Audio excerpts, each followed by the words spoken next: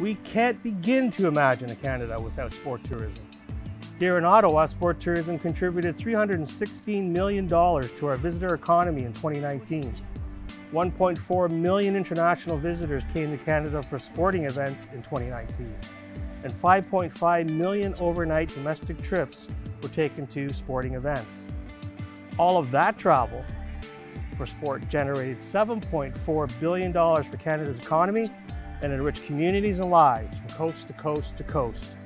Sport tourism has always played a central role in our visitor economy, and we're ready to get back at it. It's time to gather again in the spirit of sport, to strengthen our ties and share with our communities.